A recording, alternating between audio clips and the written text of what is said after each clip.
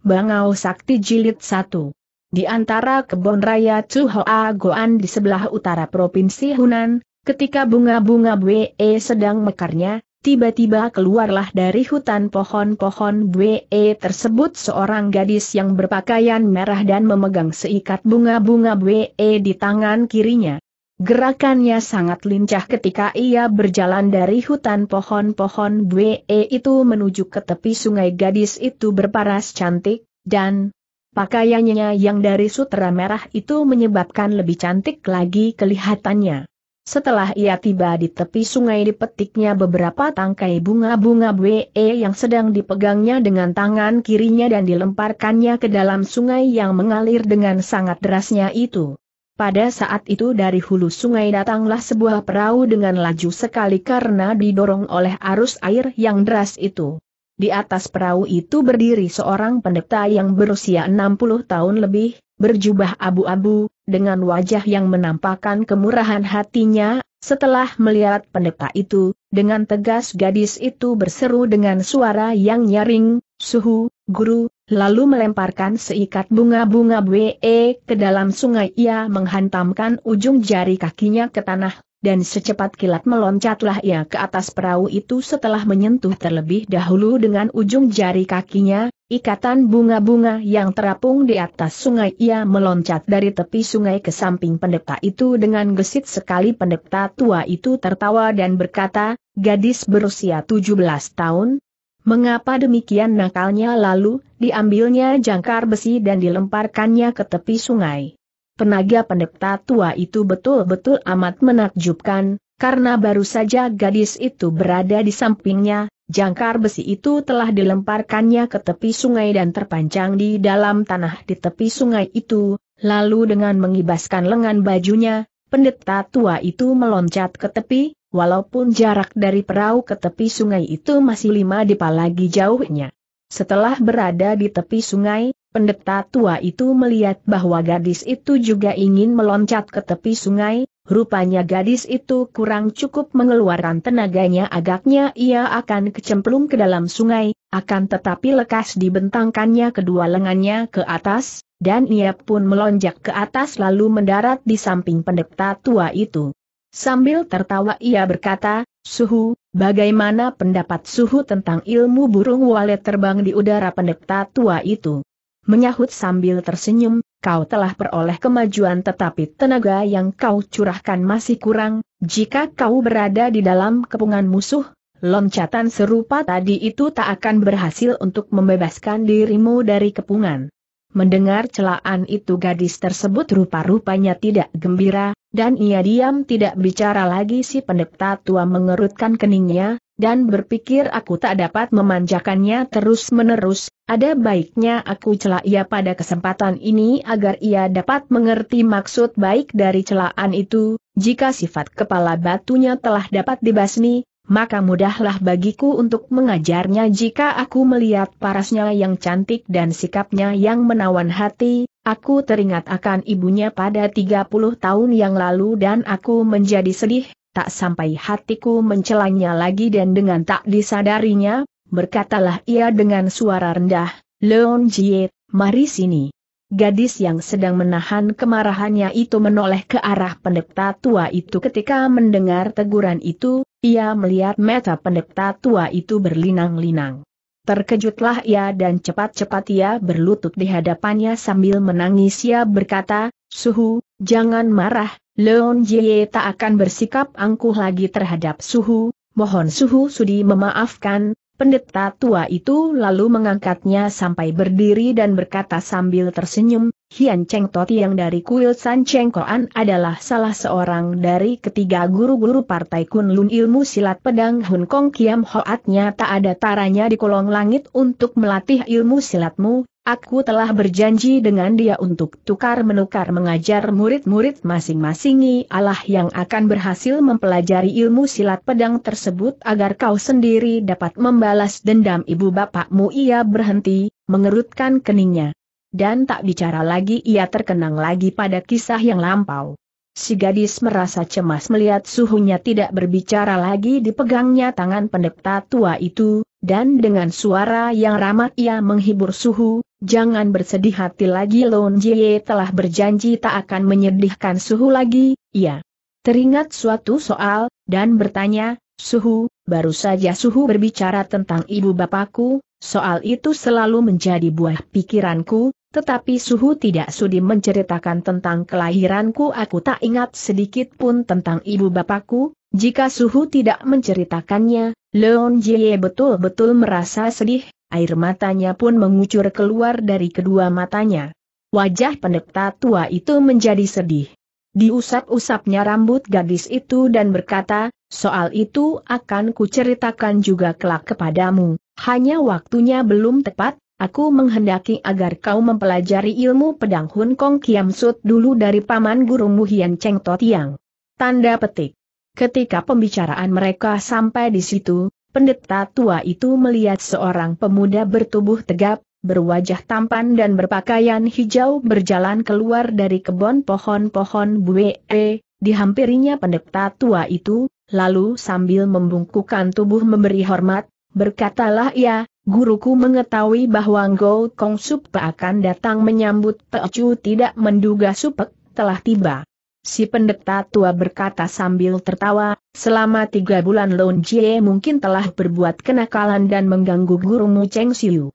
Cepat-cepat pemuda itu menggoyangkan tangannya dan menyahut, Cheng Lon Sumoi sangat pintar dan cerdas, ia telah mempelajari ilmu silat dari Ngo Kong Su Zepek.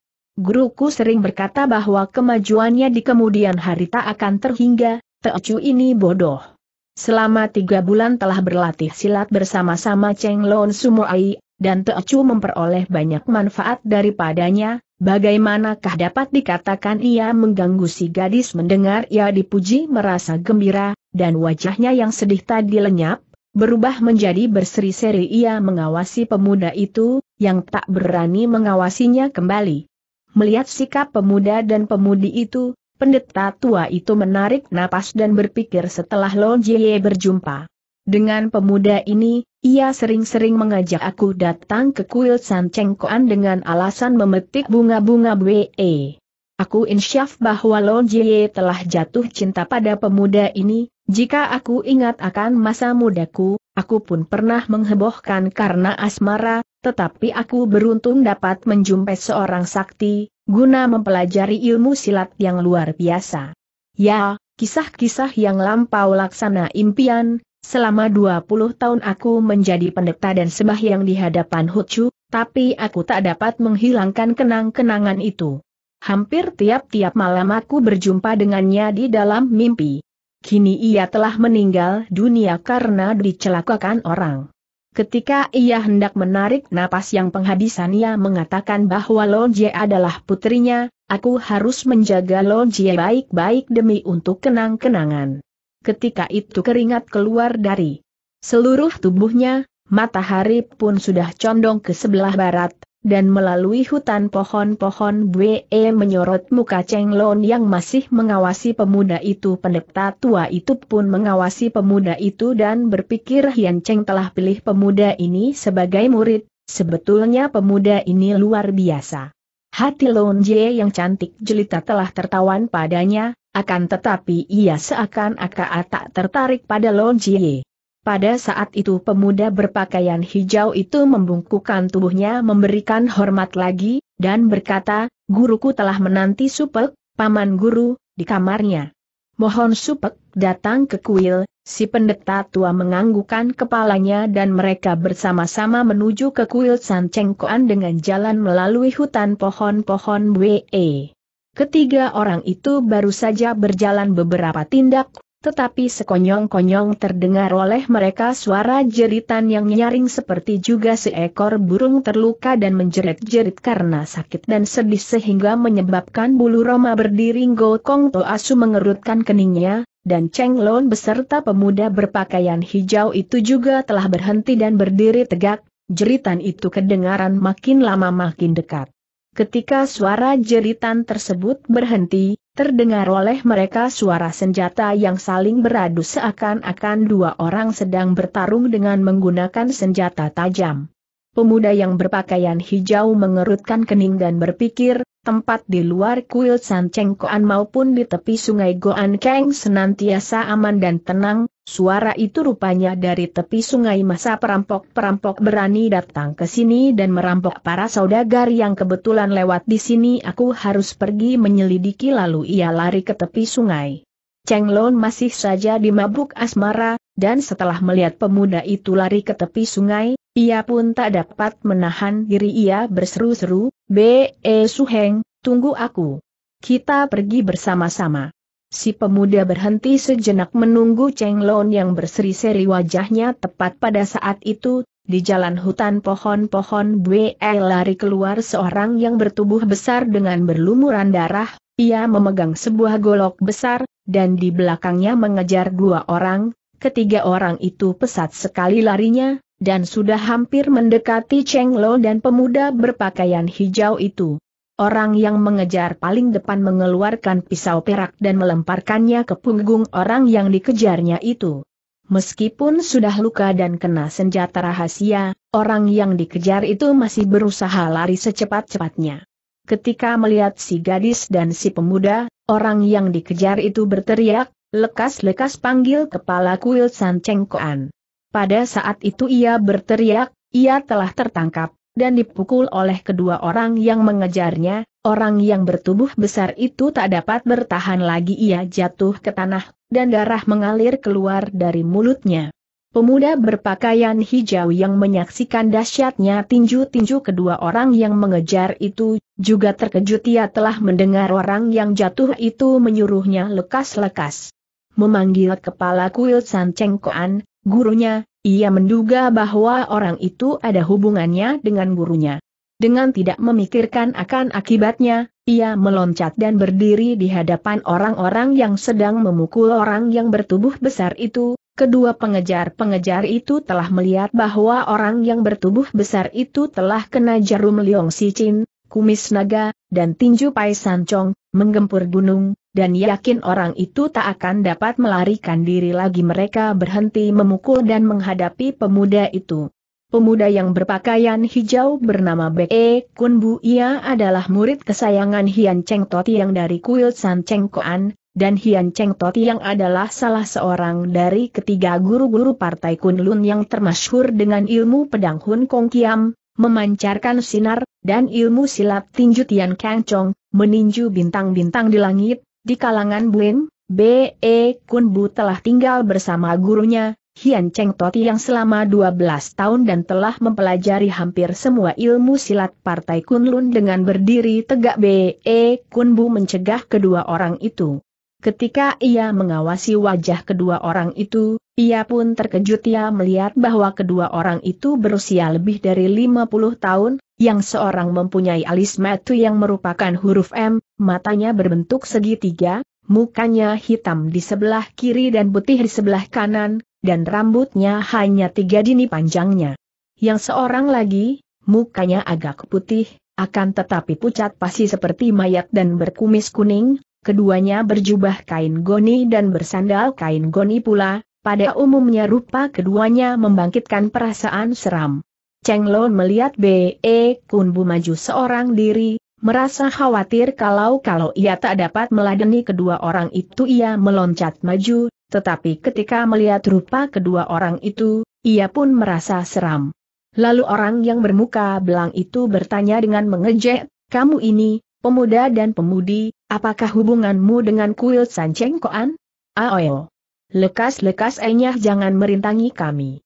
B.E. Kunbu sangat waspada, karena ia tadi telah menyaksikan betapa dahsyatnya tinju kedua orang itu, ia menduga, bahwa kedua orang ini, jika bukan perampok-perampok besar, tentunya jago-jago silat sebelum ia memperoleh sesuatu keterangan. Ia pun tidak ingin mencari kerusuhan, apalagi kedua orang itu bukan musuhnya. Ia bermaksud merintangi perbuatan kejam dari kedua orang itu dengan jalan memberi peringatan, sambil mengulur waktu sampai gurunya datang.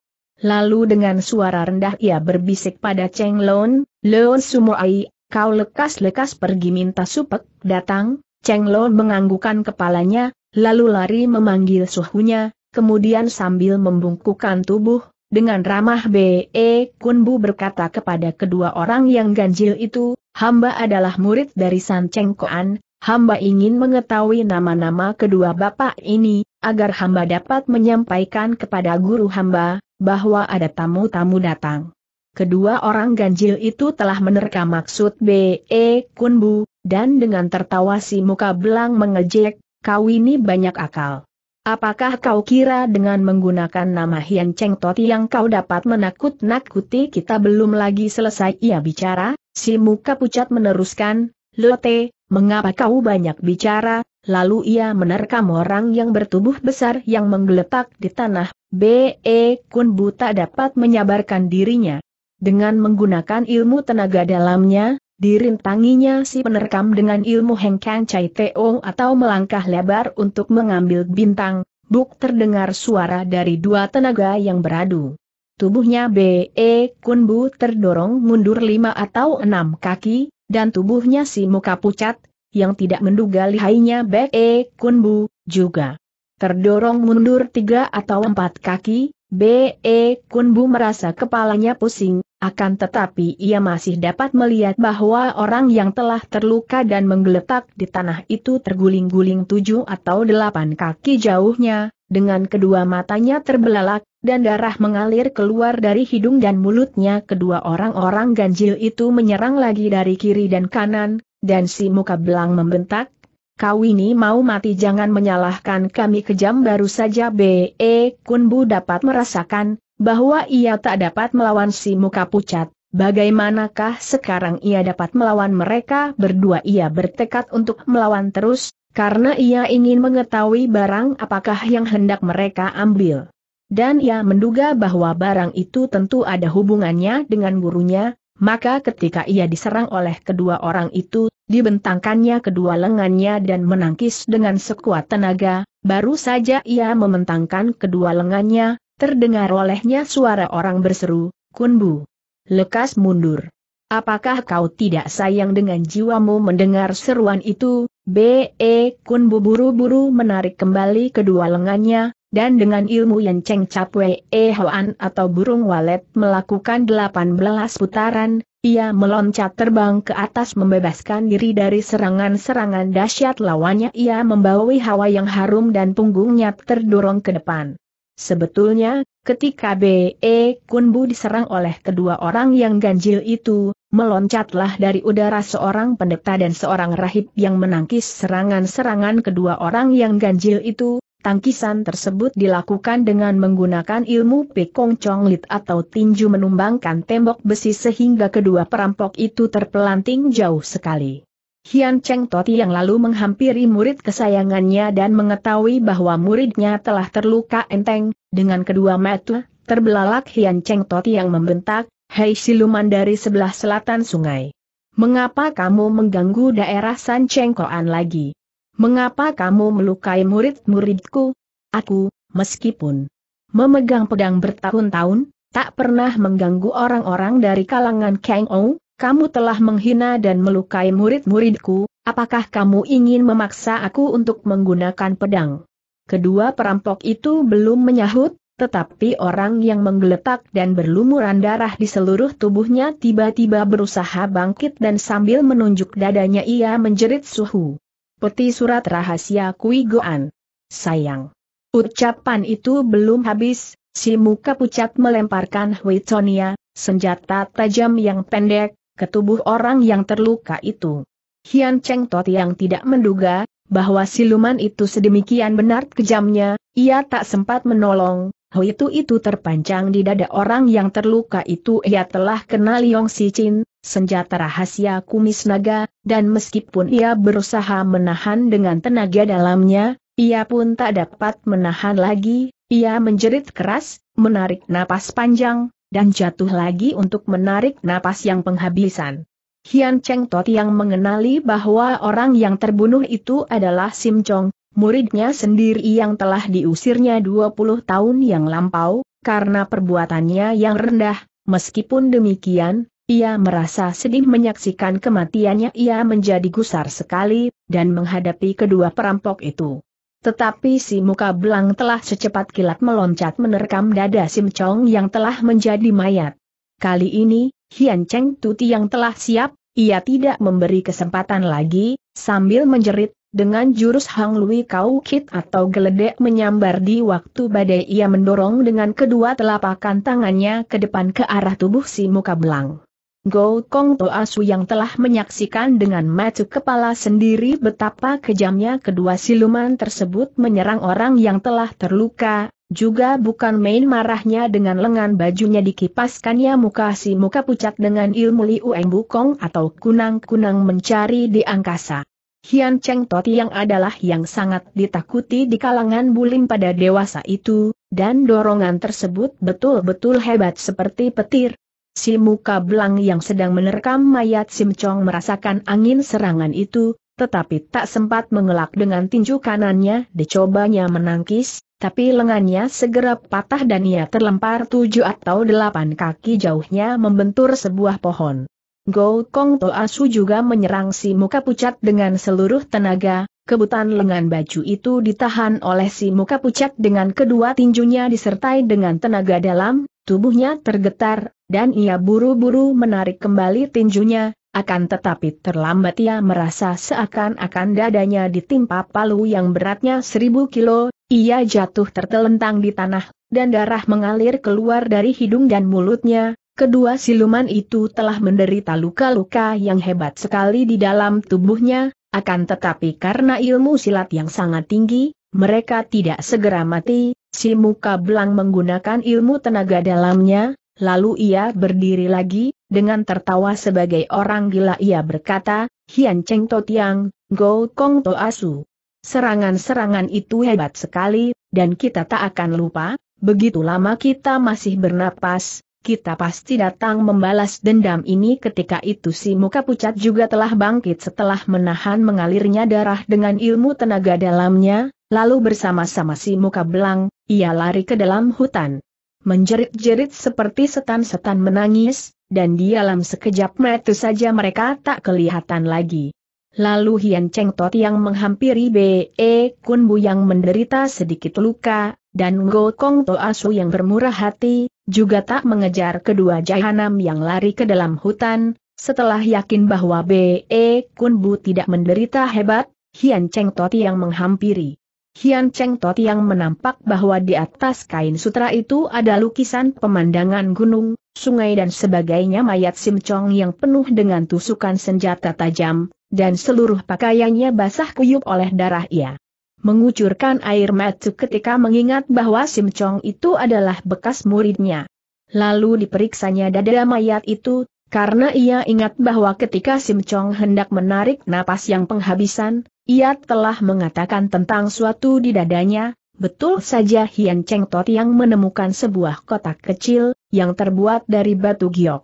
Kotak itu dibukanya, dan tampaklah sehelai sutra putih yang luasnya lebih kurang satu kaki persegi, dan di atas kain sutra itu ada lukisan pemandangan gunung, sungai dan sebagainya. Lukisan tersebut memperlihatkan tiga puncak gunung yang berdiri tegak merupakan segitiga karena sebuah puncak berada di belakang dua puncak yang berdampingan air terjun mengalir dari puncak yang di belakang dan di tengah.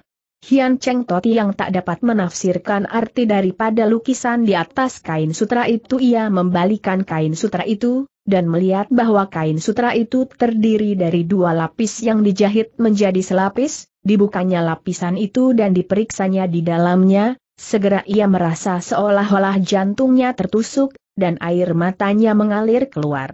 Agak lama juga mayat Sim Chong diawasinya, sambil menarik napas panjang ia berkata, dengan kesetiaanmu kau telah menunaikan tugasmu, meskipun kau telah tewas, namun kau tewas sebagai seorang murid Partai Kunlun yang setia. Perbuatan Hian Cheng Tot yang membikin Gokong Toasu berdiri terpesona. B.E. Kunbu karena hendak merintangi perbuatan yang kejam dari kedua siluman itu, telah menderita luka di dalam tubuhnya, beruntung sekali Hian Cheng Toti yang cepat tiba untuk menolong, dan ia terluput dari tinju yang maha dahsyat dari kedua siluman tadi, dan ketika ia terpental ke udara karena angin yang timbul dari tinju yang maha dahsyat itu, Cheng Lo cepat tiba menangkap tubuhnya dan menolong membebaskan jalan darahnya. Betul B.E. Kun Bu telah menggunakan tenaga dalamnya menahan tinju kedua siluman itu, akan tetapi jalan darahnya harus dibebaskan agar ia tidak pingsan.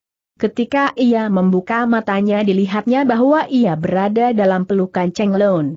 Mukanya merah karena malu dan ia cepat-cepat berdiri melihat B.E. Kun Bu telah dapat berdiri. Cheng Lon menjadi gembira dan bertanya, B.E. Suheng, Apakah engkau luka B.E. Kunbu menganggukkan kepalanya dan menyahut, baru saja aku merasa sukar bernapas. Tapi sekarang aku merasa lega, berkat pertolongan Sumoai, terima kasih, sambil tersenyum Cheng Lon berkata lagi, jika demikian halnya, aku merasa puas. Lalu mereka menghampiri Hian Cheng Totiang yang sedang mencoba mengangkat mayat Sim Chong, B.E. Kunbu bertanya, Suhu, siapakah ia? biarlah Teocu yang mengangkat Hian Cheng Tot yang melihat, bahwa ia sudah segar kembali juga merasa gembira, dan berkata, orang ini adalah suhengmu, ayo beri hormat kepada jenazahnya. B.E. Kun Bu terkejut, karena disangkanya Hian Cheng Tot yang hanya mempunyai seorang murid, yakni ia sendiri dan gurunya belum pernah memberitahukan bahwa ia mempunyai murid-murid lain, Mengapa sekarang secara tiba-tiba saja datang seorang murid yang telah menjadi mayat? Melihat wajah gurunya yang muram, ia pun tak berani menanyakan hal itu lebih lanjut ia memberi hormat dengan membungkukkan tubuh di hadapan mayat itu, lalu dengan kedua lengannya diterimanya mayat itu dari tangan gurunya. Go Kong To Asu yang juga mendengar ucapan Hian Cheng Toti yang itu tak ingin pula menanyakan bersama-sama Cheng Lonia berjalan melalui hutan pohon-pohon Bwe ke kuil San Cheng Koan, setibanya di kuil, Hian Cheng Toti yang membakar mayat Sim Chong, lalu abunya dimasukkan ke dalam sebuah guci kecil dari porselin untuk dikuburkan di pekarangan belakang kuil itu. Di depan kuburannya ditegakkan sebuah batu dengan tulisan, kuburan murid Partai Kunlun, Sim Chong. Pekerjaan mengurus jenazah Sim Chong telah berlangsung sampai senja, malam itu kebetulan terang bulan, untuk menghilangkan perasaan sedihnya, Hian Cheng Toti yang keluar berjalan-jalan di sekitar kuil, disertai oleh muridnya B.E. Kun Bu ia mengenangkan kisah yang terjadi pada beberapa puluh tahun yang lampau, dan dengan tak sadar ia berkata, Hai, muridku, Suhengmu karena tabiatnya yang berangasan telah bersalah karena melukai orang-orang dari partai silat Xiaoling, dan hampir-hampir merenggangkan kedua partai silat itu. Karena perbuatannya yang rendah itu, aku terpaksa mengusirnya. Tapi, ia kemudian menyesal dan insyaf akan kesalahannya, dan berusaha memperbaiki dirinya. Dengan susah payah ia telah kembali dan minta ampun kepadaku. Tiga kali ia datang, tetapi ketiga-tiga kalinya aku menolak menerimanya kembali menjadi murid. Pada ketiga kalinya, ia bersumpah di hadapan Tuhan Yang Maha Kuasa bahwa ia akan menunaikan tugas apa pun yang diberikan kepadanya asal saja ia dapat diterima kembali olehku. Ketika itu aku mengatakan kepadanya cari peta asli dari barang-barang simpanan berharga dari kalangan bulim. Jika kau gagal memperoleh peta asli itu, jangan pikirkan hendak kembali padaku. Dengan tekun ia berusaha menunaikan tugas itu, dan selama 20 tahun ia telah berusaha mencari peta asli itu, ia berhasil, dan dalam perjalanannya kembali ke kuil ini, sebagaimana telah kau saksikan, ia telah dikejar oleh kedua siluman yang kejam dari sebelah selatan sungai, dan ia telah terbunuh di luar kuil San Cheng Koan. Di kemudian hari, setelah kau memahami betul-betul ilmu silat yang kuajarkan kepadamu, kau tak boleh berlaku kejam terhadap orang yang baik, akan tetapi orang-orang yang jahat di kalangan Kang Ou, harus kau basmi dengan sesungguh hati. B.E. Kunbu yang mengikuti gurunya dari belakang hanya mengangguk dan menyatakan akan memperhatikan pesan gurunya itu. Lalu mereka kembali ke kuil Go Kong Toasu sedang menunggu di kamar, dan ingin berbicara dengan Hian Cheng Totiang, tapi melihat wajahnya yang masih muram, tidak ingin ia memusingkan kawannya itu dengan banyak pertanyaan ia hanya berdiri mengawasi perubahan sikap kawan karibnya itu. Setelah masuk ke dalam sebuah kamar, Hian Cheng Lotiang membuka laci sebuah meja dan mengeluarkan sebuah kotak kayu yang berwarna merah. Kotak merah itu ditaruhnya di atas meja, lalu ia berlutut dan memberi hormat dibukanya kotak itu, dan diambilnya sehelai kain sutra untuk dipancarkan di atas tembok di belakang meja itu, B.E. Kunbu mengawasi lukisan di atas kain sutra itu. Di atas kain sutra yang berwarna kuning itu tersulam dengan benang putih gambar seorang tua yang mengenakan jubah. Dari punggungnya menonjol keluar sebatang pedang, setelah melihat gambar itu B.E. Kunbu terpesona dan tiba-tiba dibentak oleh Yan Cheng Totiang, Kunbu. Ayo beri hormat kepada nenek laki-laki dari Partai Silat Kunlun yang menciptakan ilmu silat pedang Tin San Kiam Hoat, ilmu silat pedang yang dapat menumbangkan gunung. Go Kong Toasu yang menyaksikan itu, setelah mendengar ucapan kawan karibnya, buru-buru maju ke depan meja itu dan membungkukkan diri memberikan hormat kepada gambar di atas tembok itu. Kemudian ditariknya lengan Cheng Lon, keluar dari kamar itu. Setelah B.E. Kunbu memberi hormat dengan berlutut di depan gambar itu dan membungkukkan tubuh sehingga kepalanya menyentuh lantai tiga kali, Hian Cheng Tot yang menyimpan kembali gambar itu baik-baik di dalam laci. Dengan hormat ia berkata, di kalangan bulim banyak orang salah anggap bahwa ilmu silat pedang Kun Lun Hun Kong Kiam Hoat memancarkan sinar, hanya ada 96 rupa, anggapan itu keliru. Hun Kong Kiam Hoat adalah 108 rupa dengan 108 jurus, di antara 108 jurus itu, ada 12 jurus yang paling dahsyat dan yang paling sukar dipahami, dan 12 jurus ini mempunyai nama istimewa ialah, Cui Hun Ciap Ji Kiam atau 12 jurus mengusir setan. Aku telah berjanji dengan supekmu, Paman Guru, jika tidak dapat persetujuannya ketiga guru-guru dari Partai Kunlun, aku tak dapat menurunkan ilmu silat ini kepada murid yang mana pun. Malam ini aku telah minta izin dari nenek laki-laki Partai Silat Kunlun kita untuk melanggar janji itu dan mengajarkan 12 jurus tersebut kepadamu. Nah, mulai besok, kuajarkan kepadamu satu jurus tiap-tiap hari. Tanda petik.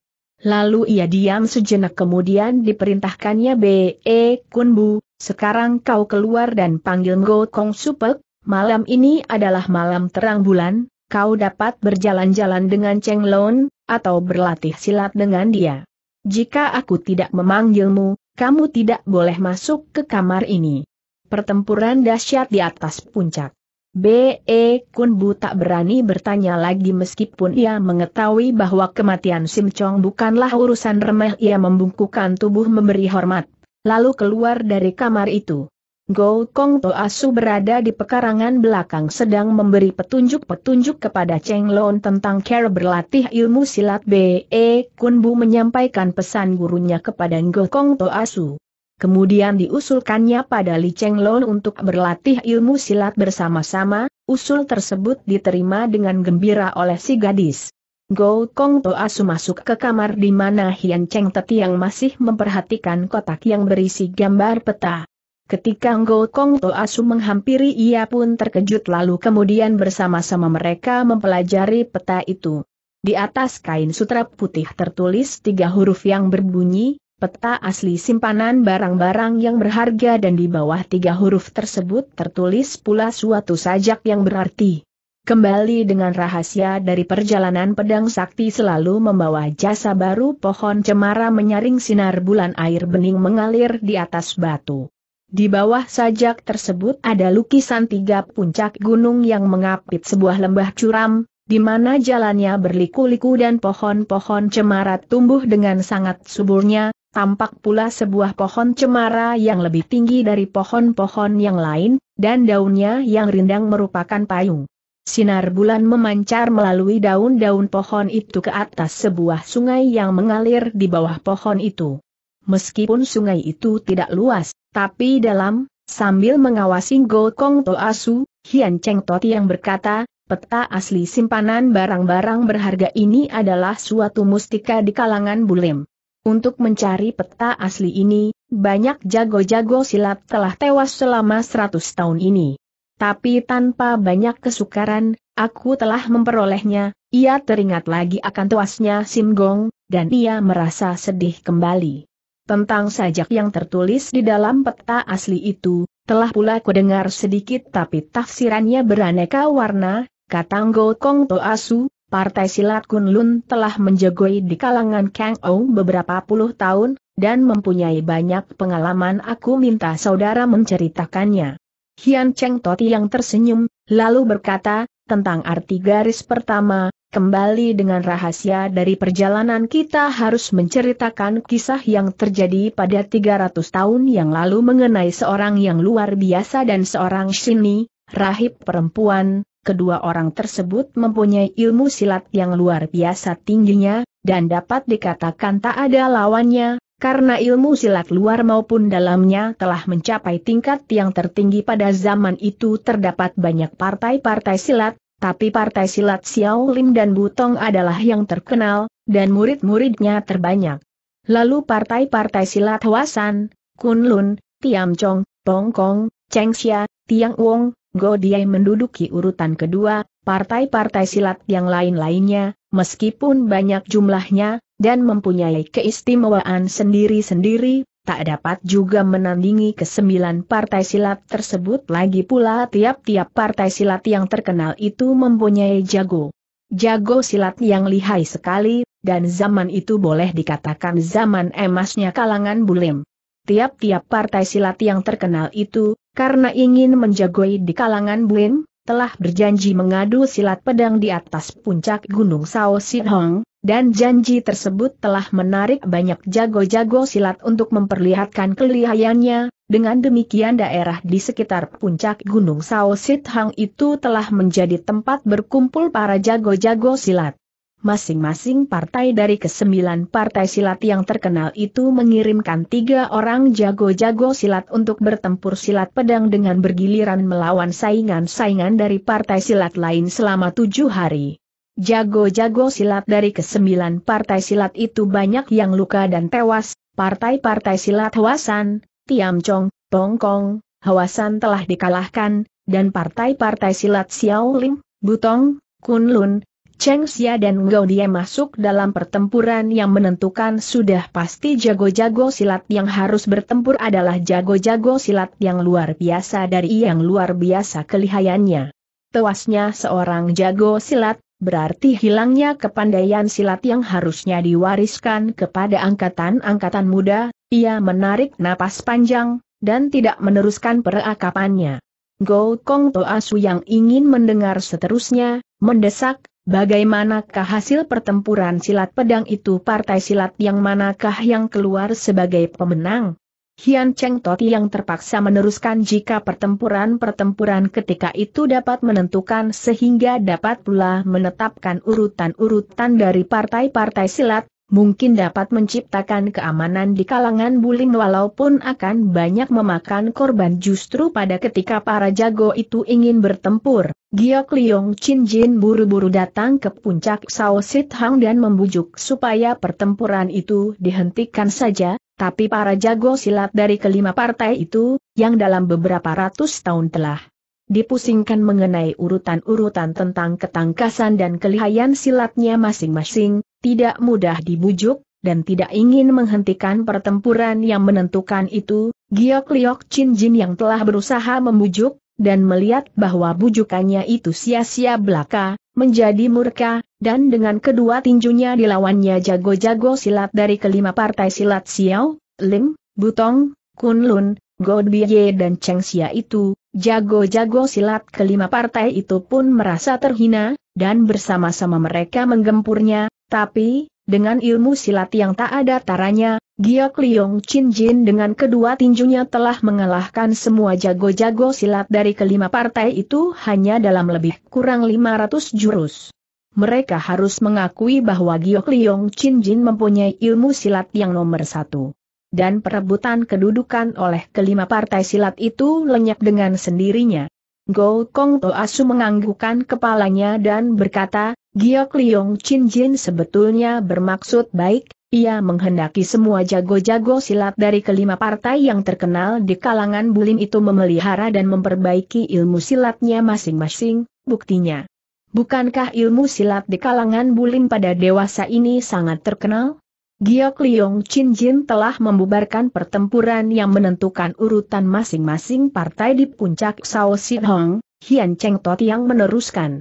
Tapi untuk penetapan urutan itu, kelima partai silat tidak tinggal diam, dengan segala jalan mereka berusaha mengirimkan murid-muridnya masuk ke dalam partai silat lain agar dapat mencuri ilmu silat dari lawan-lawannya sebagai persiapan pertempuran yang kedua kalinya, oleh sebab itu, masing-masing partai silat sangat berhati-hati menerima murid, di samping memperhatikan watak dan ketangkasan seorang calon murid, riwayat si calon murid tersebut sangat diperhatikan sekali untuk mencegah supaya orang dari partai lawan tidak masuk pertempuran terang-terangan dan penyelundupan calon-calon murid ke partai lain untuk mencuri ilmu silat telah berlangsung selama beberapa ratus tahun, sehingga guru dari tiap-tiap partai khawatir mengajarkan ilmu silat yang istimewa kepada tiap-tiap murid. Namun ilmu silat dari masing-masing partai makin hari makin maju, berkat hasrat hendak menjagoi di kalangan Kang Ou. Sangat disesalkan bahwa masih ada dua atau tiga guru silat yang mahir sekali silatnya, segan-segan mengajarkan kepandaiannya kepada murid-muridnya, Misalnya bila seorang murid telah terpilih dan beruntung akan memperoleh ilmu silat yang luar biasa dari seorang guru, maka murid tersebut harus bersumpah setia kepada partainya, partai-partai silat maju tampaknya, akan tetapi jumlah dari jago-jago silat yang telah memahami ilmu-ilmu silat istimewa dari guru masing-masing makin hari makin berkurang. Karena ingin memperoleh nama dan kedudukan, maka partai-partai silat dengan tak terasa telah membuat rintangan-rintangan untuk seorang guru mewariskan kepandaiannya kepada seseorang murid Enggo Kong Toasu berkata sambil menepuk tangan. Hian Cheng Tot yang menarik napas panjang, lalu meneruskan, sekarang kita bercerita tentang partai silat Kunlun. Setelah mengadu silat pedang di puncak Gunung Sao Sit Hang pada waktu itu, jago-jago silat dari angkatan tua lalu dengan tekun menciptakan ilmu silat pedang Hun Kong Kiam Hoat, memancarkan sinar, dan Tian Kang Chong Hoat, meninju bintang-bintang di langit, tapi jurus Hun Kong Kiam Hoat yang dinamakan Cui Hun Cap Ji Kiam tak dapat diturunkan kepada murid-muridnya.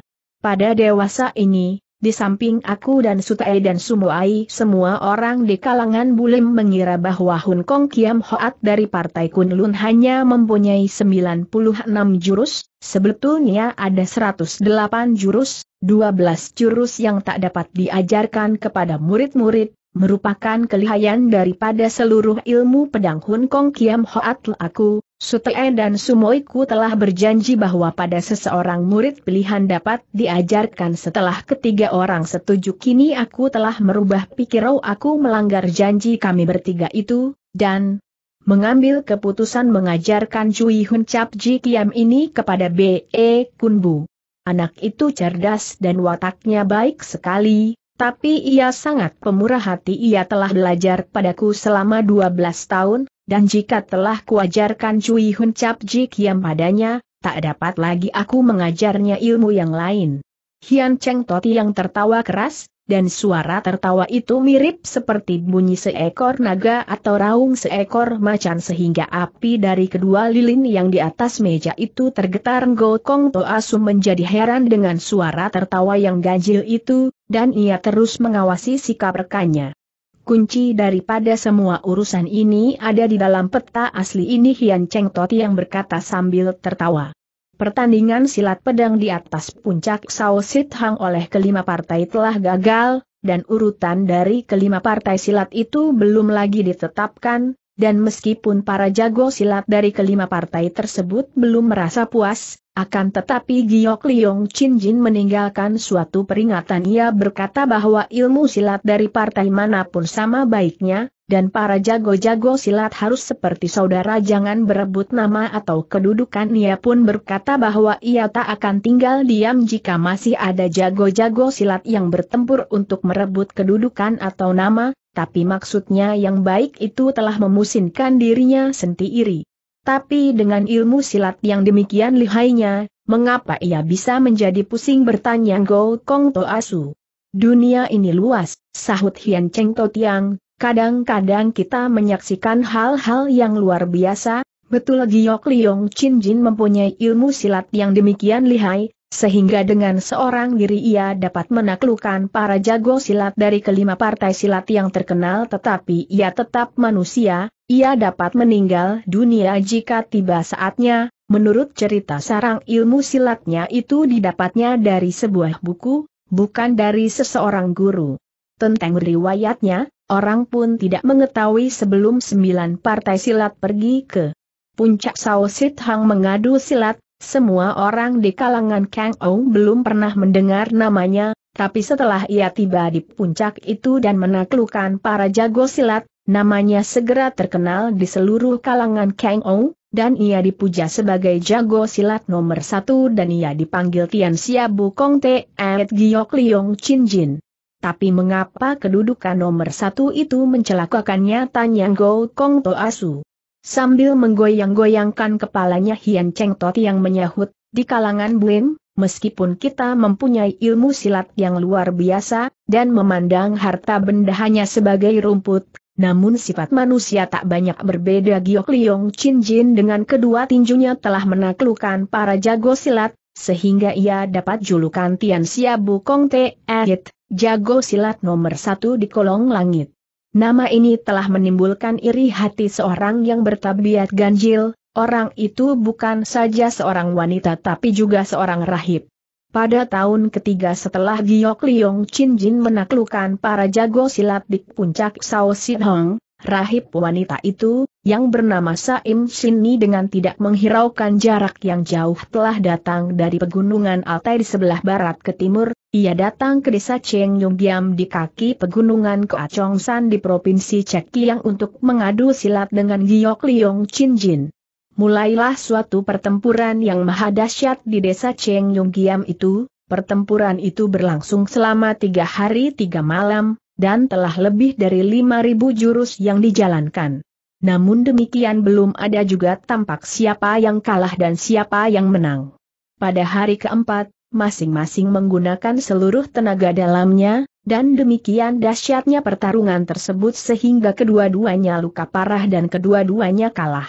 Masing-masing mengetahui bahwa mereka tak akan lama lagi hidup dan dalam keadaan payah itu, kedua-duanya jadi berkawan, mereka tidak mempunyai murid, bersama-sama mereka mengarang kemahiran dan kepandaian silatnya dan menjadikannya tiga jilid buku, yang mereka simpan di dalam sebuah gua batu di pegunungan Koachongsan, dan buku-buku tersebut mereka namakan Kui Goan Pitchik yang artinya sebagai berikut. Semua ilmu silat dari segala jurusan mengalir ke satu tempat, dan tak dapat menyimpang dari tujuannya setelah selesai menyusun tiga buku tersebut, mereka menggambar sebuah peta yang bernama peta asli simpanan barang-barang berharga atau Chong Chin Tu, dan yang memberi petunjuk tempat tersimpannya barang-barang berharga itu. Chong Chin Tu itu ditaruh di dalam sebuah kotak dari batu giok, dan disembunyikan di antara dua jurang.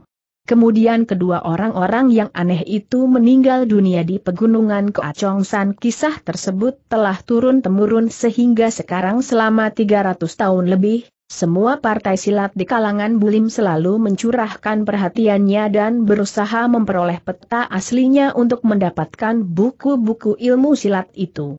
Di samping jago-jago silat, juga orang-orang sakti yang telah bertapa, perampok-perampok yang kejam, semuanya dengan segala jerih payah berusaha mendapatkan peta tersebut, dan kemudian buku-buku itu pada seratus tahun yang lewat peta itu telah didapat oleh seorang perampok besar. Tapi ia terlampau kejam dan dengan sendirinya banyak musurnya. Ditambah pula dengan amat banyaknya jago-jago silat yang menghendaki peta asli ini. Betapapun juga tingginya ilmu silatnya, setelah ketahuan ia yang mendapat peta asli itu, ia segera dikejar-kejar dan tak dapat lagi ia menghindarkan diri dari penganiayaan atau keroyokan orang lain yang menghendaki peta ini. Kemudian peta asli ini berpindah-pindah tangan entah beberapa kali, dan entah berapa pula jiwa yang telah melayang karenanya, tapi belum terdengar bahwa buku-buku Kui Goan Pitchik tersebut telah didapat orang, aku pun tak mengetahui bagaimana caranya Sim Chong memperoleh peta asli Chong Chin Tu ini. kedua siluman dari sebelah selatan sungai telah mengejar dan membunuh mati Sim Chong karena ingin merebut Chong Cintu ini ia menarik napas panjang dengan wajah terharu. Go Kong To Asu bertanya lagi, peta asli Chong Cintu telah jatuh di tanganmu. Apakah yang hendak kau lakukan? Apakah kau ingin mencari buku-buku Kui Goan Pitchi? Hian Cheng Tot yang menganggukkan kepalanya dan menyahut, setelah kuajarkan Cui Hun Cap Ji Kiam kepada muridku Bek E Kun Bu, aku siap membawa tubuhku yang sudah tua ini untuk dikuburkan di pegunungan Keacong San. Coba pikir, selama 300 tahun lebih semua partai-partai silat berusaha mempertahankan perdamaian sebetulnya mereka mencurahkan semua tenaga mencari Kui Goan Pitcik itu. Dalam 100 tahun ini, partai silat Wasan rupanya yang menjagoi di kalangan bulim. Dan semenjak gurunya Tuhwe Eseng, yang dikatakan mempunyai delapan lengan karena jurus silatnya yang cepat bagaikan kilat itu, menerima murid-murid, maka banyak sekali jago-jago silat F berkecimpung di kalangan bulim peristiwa yang memalukan di puncak Sao Hong, tak dapat dilupakan oleh semua partai-partai silat misalnya partai silat Tian Liong yang tiba-tiba timbul di Provinsi KWI Chiu. Hanya dalam jangka waktu 20 tahun, pengaruhnya telah menjalar hampir di seluruh daerah sebelah selatan sungai kepala dari partai silat Tian Liong itu, Sou Penghai, bersama-sama dengan partai-partai cabangnya yang menggunakan bendera-bendera merah, kuning, biru, putih dan hitam telah mengumpulkan semua jago-jago silat yang tak berpartai dengan maksud mendirikan sebuah partai silat yang besar di samping kesembilan partai silat yang terkenal itu. Pada dewasa ini, keadaan di kalangan Kang Ou tampaknya tenteram saja, tapi, keadaan yang sebenarnya sangat tegang, aku kira pertarungan yang kedua kalinya untuk menetapkan urutan kedudukan di kalangan Kang Ou tidak. Lama lagi terjadi ia berhenti sejenak, lalu meneruskan, buku-buku Kui Goan Pitchik rupanya akan mempunyai hubungan yang erat dengan nasib partai-partai silat kalangan Kang Nolu, jika buku-buku tersebut jatuh ke tangan orang-orang yang jahat, tak dapat kita bayangkan betapa hebat akibatnya. Untuk mencegah itu, aku harus pergi ke pegunungan San, tetapi urusan itu tak dapat dilaksanakan oleh satu orang. Jika kau mempunyai hasrat untuk turut dengan aku, tapi kau adalah seorang pendeta yang selalu bertindak bijaksana, dan mungkin tidak sudi mengambil resiko, ya, jika kau tidak sudi turut, Aku pun tak dapat memaksa kau. Aku harus mengajari B.E. Kun Bu ilmu silat Cui Hun Cap Jikiam, di waktu aku hendak berangkat, aku akan mengajak kau lagi. Go Kong To Asu menundukkan kepalanya yang penuh dengan berbagai-bagai pikiran. Tiba-tiba ia mengangkat kembali kepalanya dan berkata dengan hikmat, urusan ini besar sekali hubungannya dengan nasib kalangan bulim. Aku si tua bangka tidak dapat menolak lagi pula usiaku sudah lanjut mati atau hidup tak ada artinya lagi bagiku, aku hanya khawatir tentang Cheng Lon, karena ia seorang anak piatu, dan ia mempunyai tugas untuk membalas dendam. Belum. Lagi habis pembicaraan itu, Hian Cheng Tot yang berkata sambil tersenyum, urusan Lon Jie, telah kuatur, jika Kasudi dan memperkenankan ia masuk partai silat Kunlun, Aku dapat menulis surat kepada Sumo Aiku, saudari seperguruan, Giok Chin dan Lo Jie dapat bernaung di bawah penjagaannya. Kedua siluman dari sebelah selatan sungai telah kabur, dan telah mengetahui tentang peta asli Chong Chin Tu ini. Kubiasan cengkoan ini tak dapat dipertahankan lebih lama lagi. Tidak sampai sebulan, pasti ada orang yang datang menyerbu. Oleh karena itu, Sebelum aku berangkai aku harus memindahkan kedua anak-anak itu ke tempat yang aman. Sambil tertawa Go Kong To Asum menyahut, jika ia dapat diterima masuk partai silat Kunlun, ia akan memperoleh banyak isat tumu. Aku si tua bangka rela mati di pegunungan San hanya ia memikul beban untuk membalas dendam. Ketika ibunya hendak menarik napas penghabisan ia berpesan kepadaku agar ia bila sudah besar membalas dendam dan membunuh mati musuh orang tuanya, urusan ini harus kuberitahukan kepadanya, dan pembalasan dendam itu harus dilaksanakannya, apakah pembalasan dendam itu tidak akan memusingkan partai silat kunlun? Ya, aku harus berterus terang, supaya jangan sampai menjadi penyesalan. Dengan wajah yang hikmat, Hian Cheng Toti yang berkata apakah Cheng Lon bukan puterinya Li Kweice. Si pendeta itu segera berubah wajahnya dan ia bertanya kembali, bagaimana, bagaimana kau mengetahui urusan ini? Sambil menarik napas Hian Cheng Toti yang menceritakan kisahnya, kira-kira 15 tahun yang lampau, suami istri Li Kweice, ketika melewati sebuah gunung, telah menjumpai kecelakaan, Peristiwa tersebut telah diketahui oleh banyak orang-orang di kalangan Kang Ou, tapi aku mohon supaya kau tidak memberitahukan riwayatnya ini pada Cheng Lon, karena yang membunuh kedua suami istri Li Kwij itu adalah Ou Lam Peng, si kaki terbang, dan ia telah masuk partai silat Tian Liong dan menjadi kepala cabang bendera merah dari partai tersebut soal pembalasan dendam itu sebaiknya ditunggu sampai ada ketika yang baik, dan tak dapat dilakukan dengan sembrono, jika kau beritahukan Cheng Lian sekarang. Sama juga artinya dengan kau mencelakakannya, Go Kong Toasu membuka matanya lebar-lebar dan dengan tubuh gemetar ia berseru, jika demikian halnya, aku si tua bangka ini yang harus gempur Ou Lempeng. Hian Cheng Loti yang tersenyum, dan berkata, jika kau gempur Ou Lempeng, aku yakin kau akan menang, soalnya, ialah orang-orang Partai Tian Liong amat banyak lagi pula kepala dari Partai Tian Liong itu, Sou Penghai, adalah seorang jago silat yang lihai sekali pada dewasa ini. Mungkin kau pernah mendengar bagaimana ia seorang diri menaklukkan empat orang musuh-musuhnya. Empat jahanam. Itu di Provinsi Sucoan dan Hupeh telah berbuat sewenang-wenang, dan meskipun jago-jago silat dari partai-partai Butong, Gobiet, Cheng Xia telah berusaha mengepung mereka, tetapi mereka dapat memukul kocar-kacir lawan-lawannya, dan orang-orang dari ketiga partai silat itu telah menderita luka-luka. Ketika Soi Penghai melalui sebuah jalan di Provinsi Hupeh, pada suatu ketika berjumpa dengan keempat jahanam-jahanam itu, dan hanya dalam semalam saja telah dapat keempat-empatnya ditaklukannya kemudian diterima mereka sebagai anggota Partai Tian Liong, Peristiwa ini telah tersiar di kalangan Bulim selama tiga tahun yang lampau. Pada dewasa ini Partai Tian Liong dengan semua cabang-cabangnya rupanya menjagoi di antara kesembilan partai yang telah terkenal jika aku tak salah meramalkan, di dalam jangka waktu sepuluh tahun ini akan timbul perubahan besar, mungkin juga banyak jago-jago silat akan binasa dalam pertarungan-pertarungan yang hebat. Urusan pembalasan dendam dari Li Cheng Lon, harus kita lakukan dengan hati-hati jika ia telah masuk Partai Kunlun, ia pasti dijaga dan dilindungi oleh kami dari Partai Kunlun.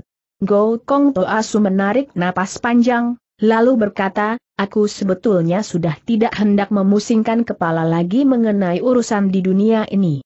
Tapi urusan Cheng Leon ini senantiasa melekat di pikiranku orang tak dapat berlaku acuh tak acuh terhadap kejadian-kejadian di sekitarnya selama ia masih bernapas baiklah, aku pulang dahulu ke kuil Walimsi.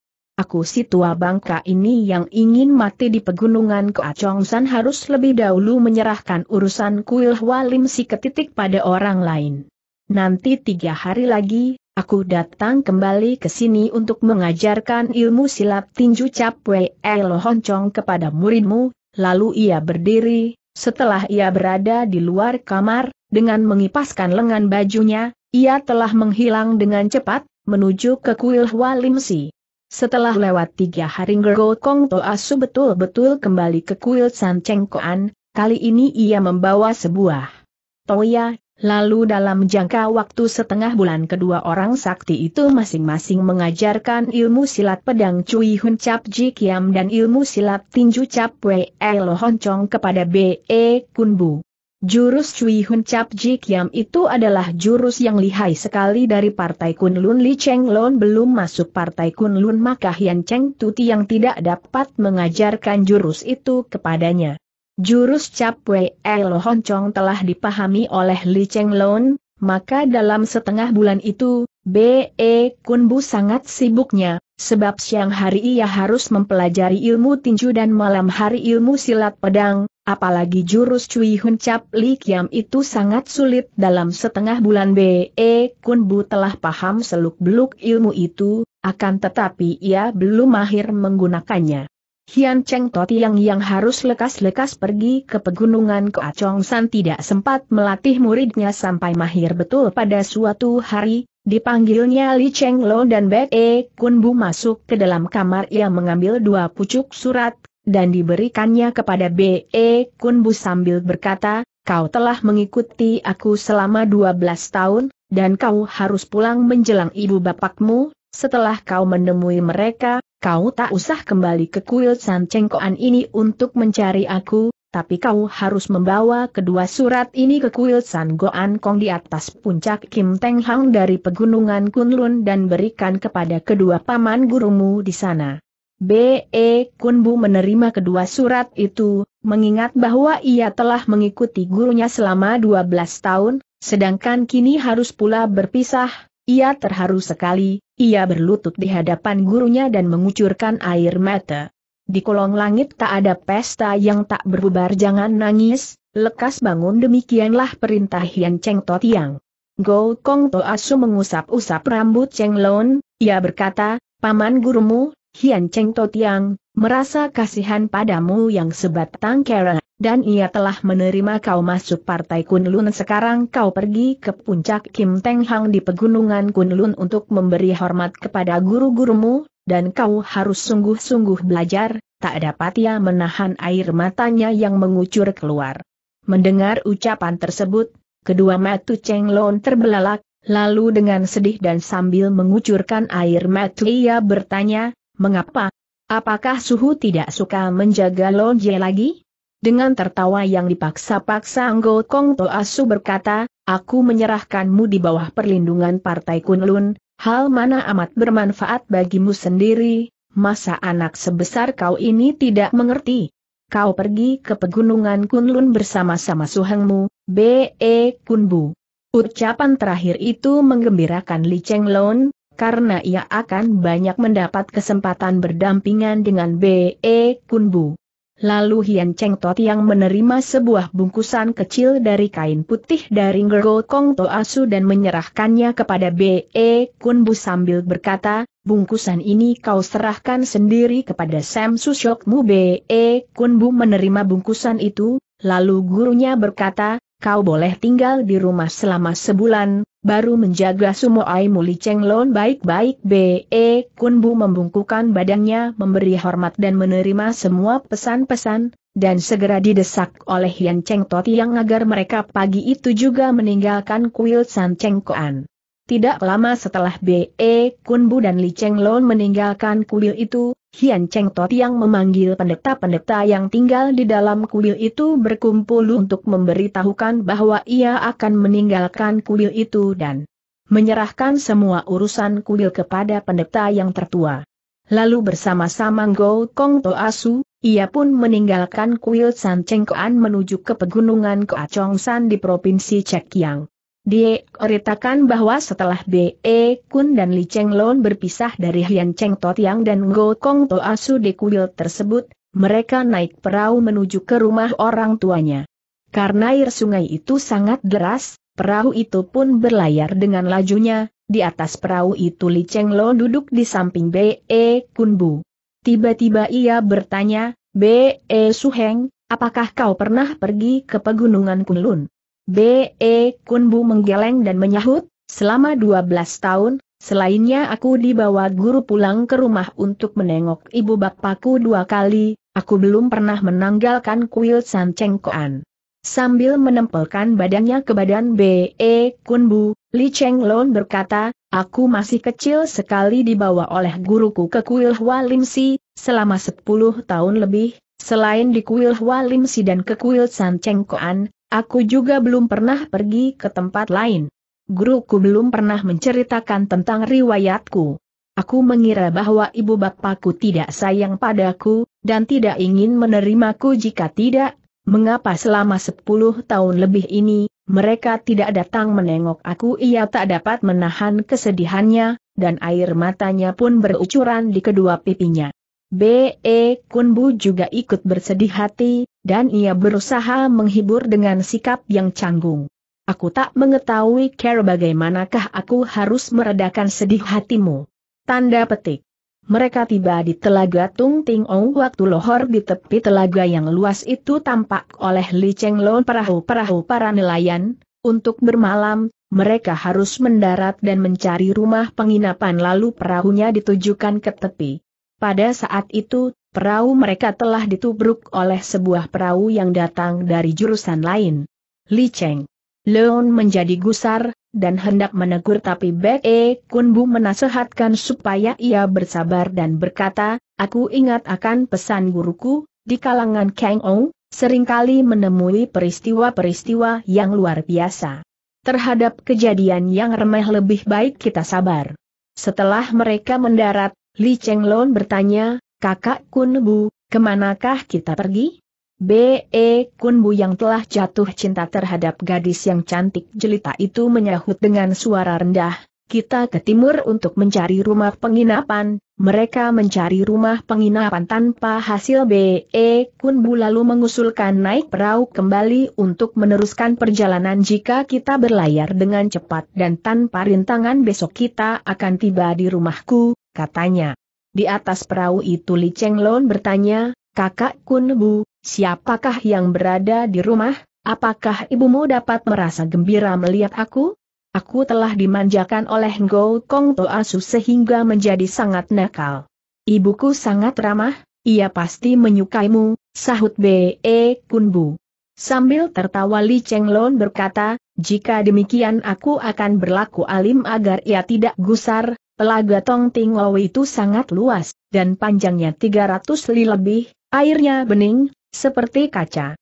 Angin yang berhembus demikian halusnya sehingga menyebabkan pemuda dan pemudi itu gembira sekali di sepanjang jalan perahu mereka telah melewati banyak perahu-perahu nelayan. Pada suatu ketika tampak oleh mereka sebuah perahu layar yang besar berlayar dengan sangat pesatnya seakan-akan mengejar perahunya, Perahu layar yang besar itu diikuti oleh empat buah perahu-perahu yang lebih kecil, untuk menjaga diri, Li Cheng Lon mengambil pedangnya dan memberikan pula sebuah kepada B.E. Kunbu sambil berkata, kakak Kunbu, rupanya perahu yang menubruk kita tadi sedang mengejar kita. Baru saja ucapannya selesai keempat perahu-perahu yang kecil itu telah berada di depan perahu mereka, dan di depan tiap-tiap perahu berdiri seorang yang bertubuh besar, dengan pedang terhunus, B.E. Kunbu lalu menegur aku sebetulnya tidak kenal kalian, kita juga bukannya saudagar yang kaya. Kalian telah merintangi perahu kita, apakah sebabnya? Orang yang berdiri di atas perahu di sebelah kiri dan yang berusia lebih kurang 40 tahun, menyahut, jika kamu saudagar-saudagar, kaya, kita tidak menghiraukan kita ingin bertanya, apakah hubunganmu dengan Hian Cheng Toti yang dari kuil San Cheng Koan? Hian Cheng Toti yang adalah suhuku, mau apa sahut B.E. Kunbu dengan gusar. Orang itu berkata lagi, Hian Cheng Toti yang telah menggemparkan kalangan Kang Ong, guru kita yang telah mendengar bahwa ilmu silat pedang dari partai Kunlun yang tak ada taranya di kolong langit, ingin mengambil kesempatan untuk belajar kenal dengan kedua muridnya. Dengan sahutan yang ramah itu, B.E. Kunbu menjadi agak reda ia berkata lagi, Aku baru keluar dari rumah dan baru berpisah dari guruku, oleh sebab itu aku tak mengerti peraturan dari kalangan Kang Ong, jika guru saudara ingin menjumpai kami, bukankah lebih baik jika kami yang datang memberikan hormat kepadanya? Orang itu menyahut, tapi guru kita telah datang. Orang tua itu mengangkat kedua tangannya memberi hormat dan sambil tersenyum berkata, kami dengan tak sengaja telah melanggar perahu saudara, Aku menghaturkan maaf. Lalu ia menunjuk ke arah perahu layar yang besar B.E. Kunbu menengok ke arah perahu yang besar itu, yang sangat terang karena amat banyaknya lilin dipasang orang. Di atas sebuah kursi yang ditutupi dengan kulit macan duduk seseorang yang berusia 50 tahun lebih, tapi seluruh rambut dan jenggotnya berwarna putih, di kiri dan kanannya berdiri dua orang yang bertubuh tegap dan memegang golok besar setelah perahunya berdempetan dengan perahu B.E. Kunbu, orang tua itu bangun dari kursinya ia mengangkat kedua tangannya memberi hormat, dan berkata sambil tertawa, kami dengan tak sengaja telah melanggar perahu saudara, aku menghaturkan maaf. B.E. Kunbu berbisik pada Li Chenglong, kita harus waspada. Mari kita pergi ke perahunya, lalu dengan sekali meloncat, mereka telah berdiri di hadapan orang tua itu. Orang tua itu melihat kepada orang-orangnya yang berada di keempat perahu-perahu kecil dan berkata, periksalah apakah perahu tamu kita mendapat kerusakan karena bentrokan tadi, jika ada kerusakan, harus kamu perbaiki dengan segera, semua orang-orangnya serentak mengangkat lengan kiri dan menekan dada, lalu membungkukkan tubuh memberi hormat. Mereka segera memeriksa perahu B.E. Kunbu. Dengan menghadapi B.E. Kunbu dan Li Lo orang tua itu berkata sambil tertawa, aku ini kurang hati-hati, jika perahu saudara menderita kerusakan, aku minta maaf mari kita minum arak dulu. B.E. Kunbu dan Li Lo membungkukkan tubuh memberi hormat. Lalu B.E. Kunbu berkata, kami baru berpisah dari guru kami, dan tidak mengenal peraturan mohon dimaafkan apakah kami dapat kehormatan mengenal Chuan dari angkatan tua? Orang tua tersebut tertawa dan menyahut, pada 20 tahun berselang aku telah bertempur melawan Hian Cheng Totiang, dan karena ia baik hati, aku dapat hidup lagi beberapa puluh tahun mari kita minum arak dulu. Ada banyak hal-hal yang hendak kutanyakan, Lalu ia mengajak pemuda dan pemudi itu masuk ke dalam kabin. Empat orang yang memegang golok besar di depan kabin itu membungkukkan tubuh memberi hormat kepada mereka. Di dalam kabin itu terang benderang karena sinar lilin yang amat banyak dan dihias dengan indah sekali di atas meja persegi delapan telah. Tersedia beberapa cangkir teh dan sebuah teko, dua orang anak yang berbaju hijau menjadi pelayan setelah mereka duduk, orang tua itu berkata, Apakah Xiao ini juga dari partai silat Kunlun? Betul, aku dan kakak Kunbu tidak minum arak, kau ada urusan apa? Ayo lekas-lekas bilang, kami tak banyak mempunyai waktu, kami harus lekas-lekas meneruskan perjalanan sahut Li Cheng Lo dengan tidak sabar, B.E. Kunbu mengerutkan kening mendengar jawaban yang agak kasar itu, tapi orang tua itu hanya tertawa, baiklah, Xiao katanya, Ke manakah kamu hendak pergi? Aku dapat mengikuti agar kamu tak terlambat, dan kita dapat berakap cakap sambil perahu-perahu kita berlayar ke tempat yang kau tuju. B.E. Kunbu menjawab, kita bermaksud mendarat di kota Gakyo, dan kita tidak ingin menyusahkan. Orang tua itu menggelengkan kepalanya dan berkata, tidak susah, kita dapat berakap cakap sambil berlayar. Lalu diperintahkannya orang-orangnya memasang layar-layar besar agar perahu itu dapat berlayar pesat menuju kota Gakyo.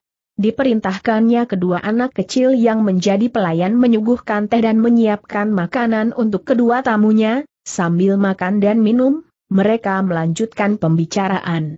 Gurumu telah menanam budi yang besar padaku, ia telah menolong jiwaku, Aku merasa malu tak dapat membalas budinya selama 20 tahun ini, memulai orang tua itu, kemarin dulu aku mendapat kabar, bahwa ia telah memperoleh peta asli Chong Chin Kabar itu telah menyebabkan banyak jago-jago silat dari kalangan Kang Ou berkumpul di Provinsi Hupeh. Aku khawatir dalam beberapa hari ini akan terjadi pertempuran-pertempuran dahsyat untuk merebut peta asli Chong Chin itu. Untuk Chong Cintu itu, selama seratus tahun belakangan ini telah tewas banyak jago-jago silat kamu adalah dari partai Kunlun, dan kamu tak akan luput dari bokongan-bokongan dari partai silat lain.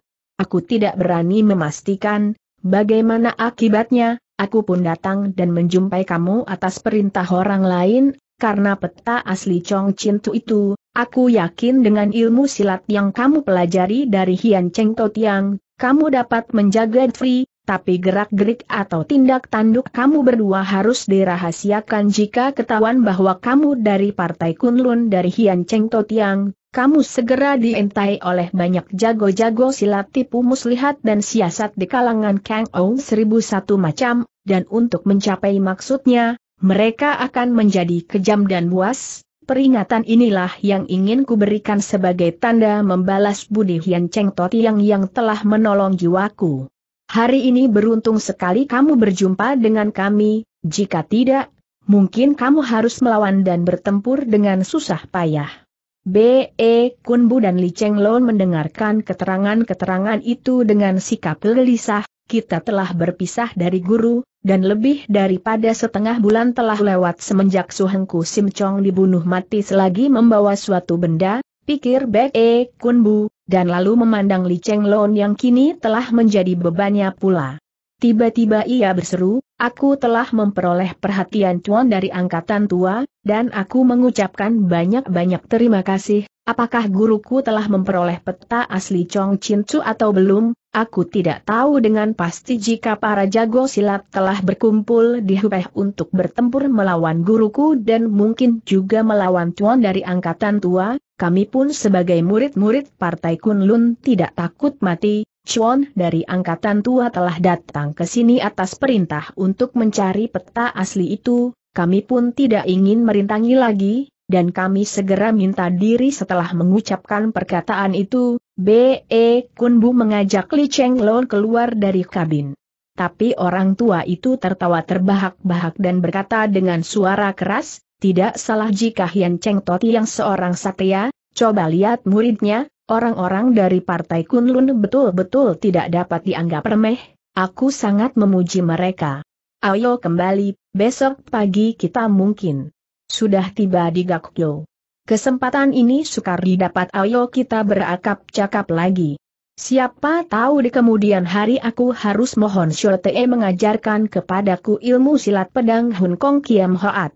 B.E. Bu tak dapat menolak ia yakin bahwa orang tua itu merasa girang dapat membalas sedikit budi gurunya, dan juga merasa canggung karena ia harus merebut peta asli Chong Cintu dari tangan gurunya itu, ia duduk kembali di dalam kabin dan berkata, kita betul-betul berterima kasih atas kebaikan Tuan dari angkatan tua, sebetulnya aku tak tahu pasti apakah peta asli Chong Cintu itu telah jatuh di tangan guruku. Aku pun tidak mengetahui dengan pasti, tapi atas perintah orang lain, aku harus merebut peta asli itu. Aku hanya ingin memperingatkan kamu lagi, bila berada di daerah ini, yaitu daerah Partai Tian Liong, kamu harus bertindak hati-hati sekali, karena jaring dari Partai Tian Liong itu sangat rapat, dan orang-orangnya banyak, berkata si orang tua, lalu meneguk secangkir arak, Seterusnya mereka tidak memperakapkan lagi soal peta Chong Chin Tu, melainkan hanya menceritakan segala sesuatu yang luar biasa di kalangan Kang Ou. Perahu layar itu berlayar dengan laju sekali, dan ketika Fajar menyingsing, mereka telah tiba di kota Gakyo. Mereka mendarat, dan melihat bahwa keempat perahu yang kecil disertai perahu B.E. Kunbu telah tiba juga. Lalu B.E. Kunbu dan Li Cheng Lon meloncat ke atas perahu kecilnya setelah minta diri dari orang tua itu. B.E. Kunbu lalu memeriksa barang-barangnya di dalam perahu dan ternyata tidak ada barang yang diganggu, perahunya berlayar sedikit lagi, lalu mereka mendarat. Ketika itu suasana belum terang, karena matahari belum terbit juga tidak kelihatan orang berkeliaran di jalan. Dengan ilmu meringankan tubuh mereka berjalan dengan pesat sekali dan dalam sekejap saja mereka telah menempuh jarak 20 li lebih, di depan mereka tampak dari jauh sebuah desa yang dilingkari gunung-gunung. Suara air mengalir dari sebuah sungai terdengar dengan nyata, di sebelah barat desa itu terletak sebuah rumah bergenteng merah. Sambil menunjuk ke arah rumah itu B.E. Kunbu berkata, rumah itu adalah rumahku, Ayahku telah menetap di desa Tiongan ini sejak 20 tahun ini. Sambil tersenyum Li Cheng Lon berkata, desa ini indah sekali, kita dapat menangkap ikan di dalam sungai di waktu senggang. Ucapan ini menyebabkan B.E. Kunbu terkenang akan masa kanak-kanaknya, ketika ia bersama-sama saudara sepupu perempuannya, Ling Xiao Chien, menangkap ikan di dalam sungai. Ling Xiao Chien, lebih tua tiga tahun daripadanya, dan menjadi yatim piatu ketika masih kecil. Lalu ia dipelihara oleh ibunya, dan B.E. Kunbu menganggapnya sebagai kakaknya sendiri, Ling Xiao Chien pun yang pintar dan cerdas, juga amat sayang padanya, ketika B.E. Kunbu berusia delapan tahun dan dibawa oleh Yan Cheng Totiang, bukan main sedih hatinya. Mereka telah berpisah selama 12 tahun. Betul ia pernah mengunjungi ibu bapaknya dua kali, akan tetapi ia tidak tinggal lama-lama. Ia hanya menginap dua hari, lalu kembali lagi ke kuil San Cengkoan, ketika ia kembali untuk kedua kalinya, ia telah berusia 18 tahun, dan Ling Xiao Chien 21 tahun. Mereka telah menjadi jejaka dan gadis, dan masing-masing merasa canggung untuk berakap cakap lagi, Ling Xiao Chien hanya bisa menasehatkan supaya ia belajar silat dengan tekun, Hian Cheng Toti yang adalah seorang yang luar biasa, kau beruntung menemuinya dan diterima sebagai muridnya, demikian nasihatnya, B.E. Kunbu yang cerdik segera mengerti maksudnya itu. Kini ia kembali dengan mengajak Li Cheng Lon, apakah ia akan menimbulkan salah paham ia berhenti berjalan ketika pikiran itu datang. Melihat ia terpesona, Li Cheng Lon menegur kakak Kun Bu, apakah yang kau pikiri B.E. Kun Bu terkejut dan menyahut, aku memikirkan suhu. Lalu ia berjalan lagi. Menuju ke rumah yang bergenteng merah itu. Setelah mereka menyeberangi sungai kecil dan melalui padang rumput dan hutan bambu, mereka tiba di depan pintu rumah itu, yang memakai papan nama Sui Goan Sancong, rumah pegunungan terang bulan, seorang bujang tua yang berusia 50 tahun lebih yang berada di pekarangan depan melihat mereka datang berseru, majikan muda telah datang, kemarin majikan tua telah berbicara tentang majikan muda, karena besok adalah hari ulang tahun wafatnya Ling Xiao Chien Xiao Chia. Belum lagi ucapan itu selesai, B.E. Kunbu.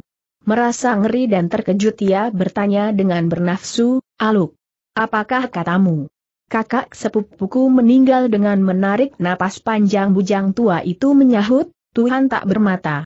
Ling Xiao Chien yang cantik jelita meninggal lebih dulu daripada aku si tua bangka ini. Tanda petik. Dengan mencengkeram kedua pundak bujang tua itu B.E. Kunbu bertanya lagi, bagaimanakah matinya sedih sekali hatinya, seakan-akan ditusuk-tusuk dengan belati.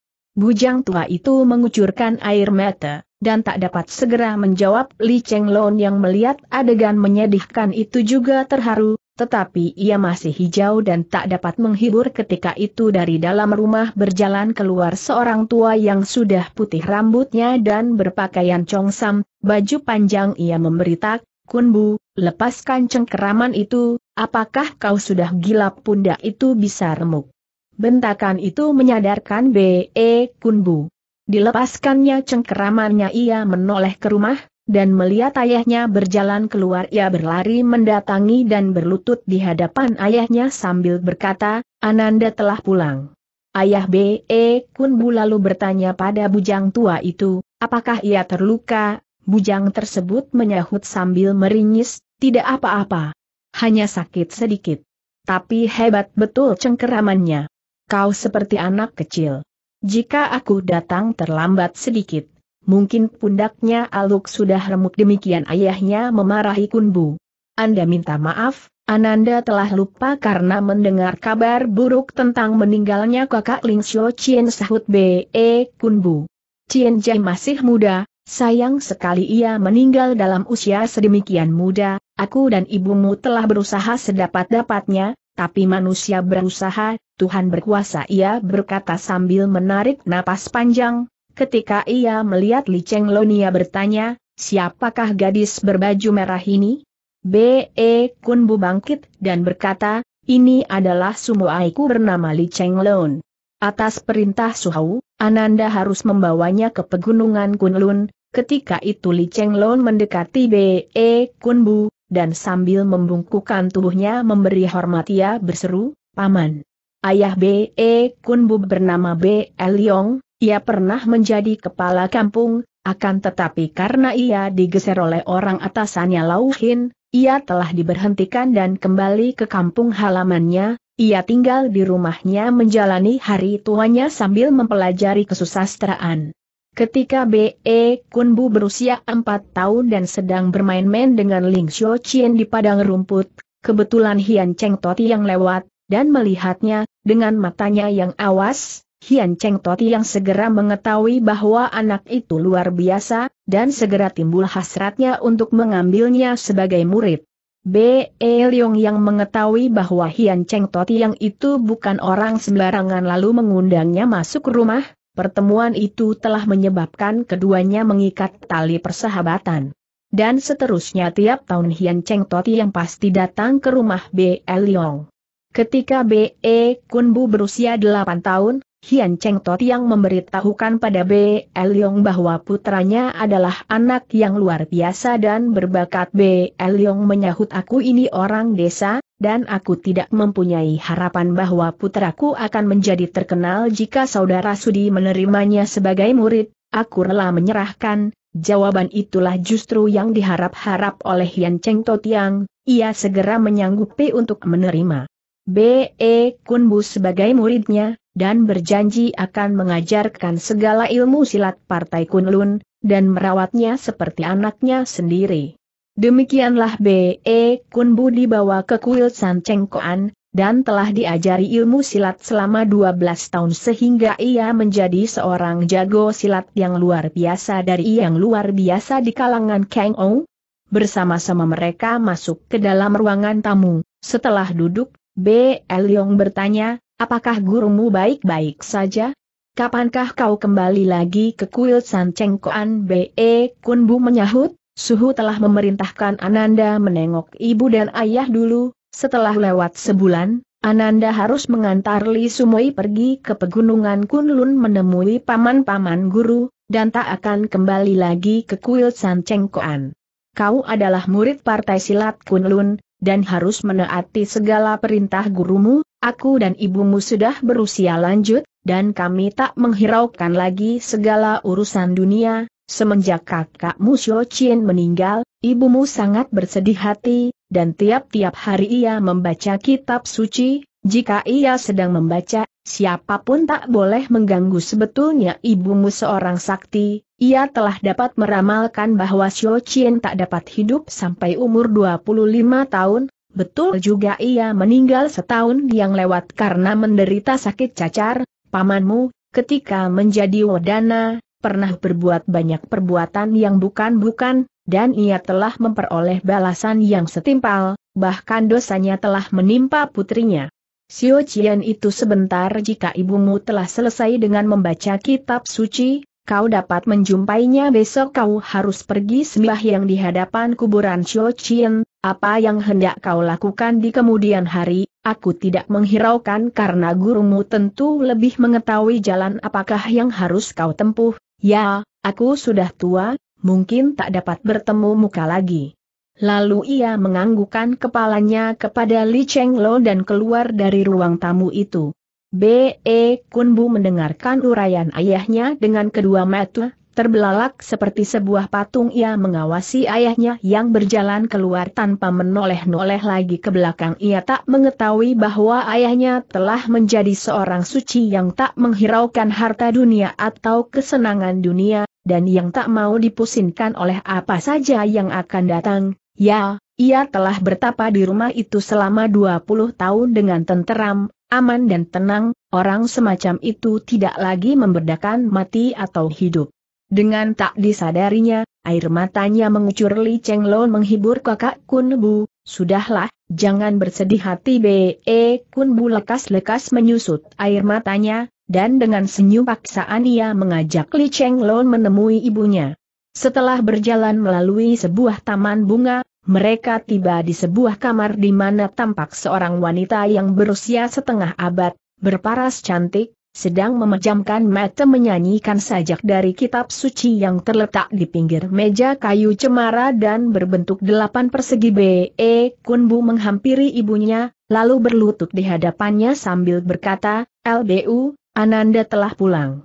Lalu B.E. Hujin membuka matanya, ia mengusap-usap kepala putranya, dan berkata, kau telah pulang, kebetulan sekali.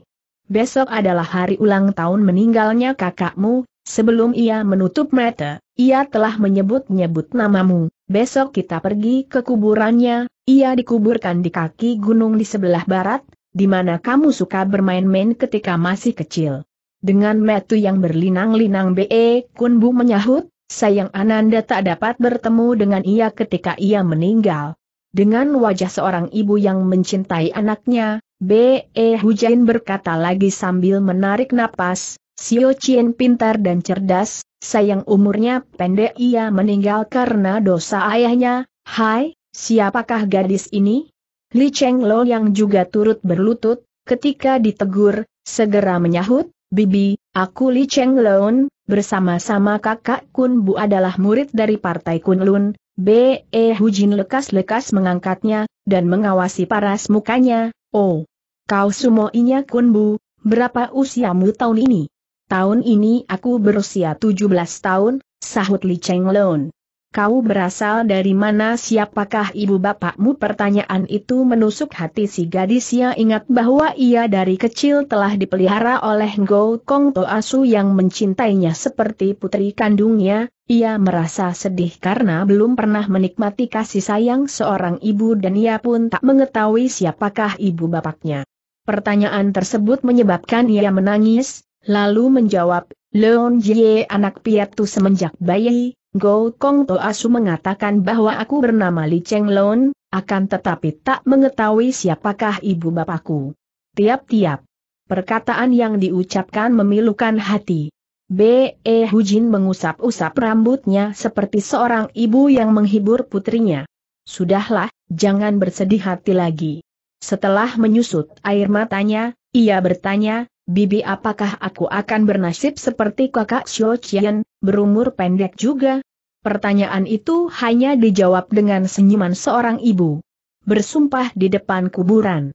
Lalu untuk meredakan B. Eh Hujain berkata, anak, kau beruntung, kau tidak senasib dengan Xiao Qian. Kemudian sambil menghadapi putranya ia berkata, anak, ayahmu telah berubah, ia telah berkeras hati bertapa di rumah di desa yang terpencil ini. Aku meskipun telah mempelajari kitab-kitab suci. Dari Buddha, hatiku tidak sekeras hati ayahmu, aku senantiasa memikirkan kau.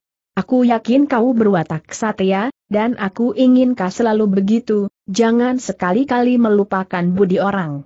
Lalu B.E. Hujin memejamkan matuk kembali untuk menyanyikan sajak dari kitab suci. B.E. Kunbu juga tidak ingin lagi mengganggu ia mengajak Li Cheng Lon keluar dari kamar itu. Bujang tua sudah menyiapkan kamar untuk majikan mudanya, dan juga untuk Li Cheng Lon. Keesokan harinya ia telah menyiapkan keperluan-keperluan untuk sembahyang, dan menunjukkan jalan ke kuburan Ling Xiao Chien. Setibanya di kuburan itu, B.E. Kunbu berkata, Aluk, pulanglah kau, tinggalkan aku seorang diri di sini, Aluk berkata sebelum pergi, orang yang sudah mati tak akan hidup kembali majikan muda tak usah terlampau bersedih hati, aku akan datang sebentar lagi. Setelah Aluk pergi, B.E. Kunbu tak tahan lagi, air matanya mengucur, dan karena amat sedihnya ia terjatuh di depan kuburan itu. Aluk yang belum pergi jauh, setelah melihat ini, lekas-lekas datang, dan berusaha menyadarkan majikannya, tetapi tak berhasil ia lekas-lekas lari memberitahukan kepada Li Cheng Lo yang kebetulan berdiri di depan rumah. Dengan ilmu meringankan tubuh, gadis itu telah tiba di kuburan dan menyaksikan B.E. Kunbu jatuh bertiarap di depan kuburan, ia terkejut dan menubruk sambil berteriak, kakak Kunbu, kakak Kunbu, kakak Kunbu. Tapi B.E. Kunbu tidak bergerak. Dirangkulnya tubuh B.E. Kunbu dan menangis keras-keras, ia berseru, kakak Kunbu, jika kau mati, aku pun tidak mau hidup lagi, tiba-tiba ia merasa hembusan angin dan mendengar suara orang yang telah dikenalnya. Sobat, apakah kau tidak ingin ia hidup membentak suara itu? Li Cheng Lon segera berdiri dan mencari orang yang membentak itu. Si jenggot putih yang dijumpainya di telaga Tong Ting Ou berdiri di depannya. Si jenggot putih tak menunggu Li Cheng Lon berbicara, lalu menjelaskan karena terlampau bersedih hati ia telah merintangi jalan napasnya, jika kau rangkul ia sekeras itu, hawa di dalam tubuhnya sukar keluar, dan ia akan menderita luka-luka di dalam tubuh, dan, ia bisa mati atau menjadi orang cacat. Sambil menangis terseduh-seduh ia berkata, Care bagaimanakah kita harus menolongnya?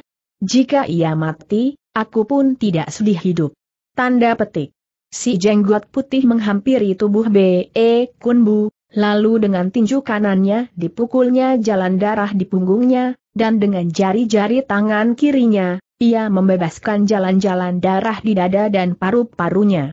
Sejenak kemudian, B.E. Kunbu menjerit dan menghembuskan napas dari lubang hidung dan mulutnya, ia sadar, dan segera berdiri kembali Li Cheng Lon menghaturkan terima kasih kepada si jenggot putih lalu memeluk B.E. Kunbu sambil bertanya, kakak Kunbu, mengapa kau tadi B.E. Kunbu tidak menyahut? Tapi ia menghaturkan terima kasih kepada si jenggot putih yang berkata, sebetulnya Sumoaimu juga dapat menolong kau, hanya ia kurang berpengalaman dan tidak tahu yang harus diperbuatnya apa dalam kebingungan tadi.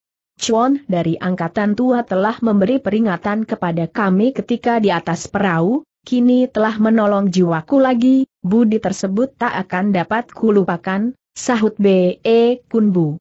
Sambil tertawa si jenggot putih berkata lagi B. Shortei telah bicara dengan cepat sebetulnya Partai Tian Liong kami dan Partai Kunlun tidak bermusuhan tapi peta asli Chong Cintu itu merupakan suatu mustika yang sedang diperebutkan oleh berbagai-bagai partai silat ketika di atas perahu, bukankah aku pernah mengatakan bahwa kita berjumpa lagi? Mungkin aku minta Shortei mengajarku ilmu silat pedang Hun Kong Kiam Hoat? Chuan dari angkatan tua telah datang ke sini dengan maksud mengejar peta asli Chong Chintu. Sesungguhnya, Chong Chintu itu tidak berada di tanganku, berkata B.E. Kunbu sambil tersenyum. Jika demikian halnya, aku minta Shote menemui pemimpin partai Tian Liong kami, kata si jenggot putih.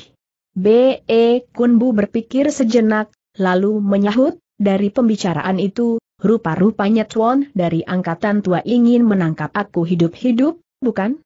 Si jenggot putih mengurut-urut jenggotnya dan berkata, peraturan partaiku sangat keras. Aku si tua bangka tak dapat mengambil keputusan sendiri aku terpaksa membawa kau menemui pemimpin partaiku.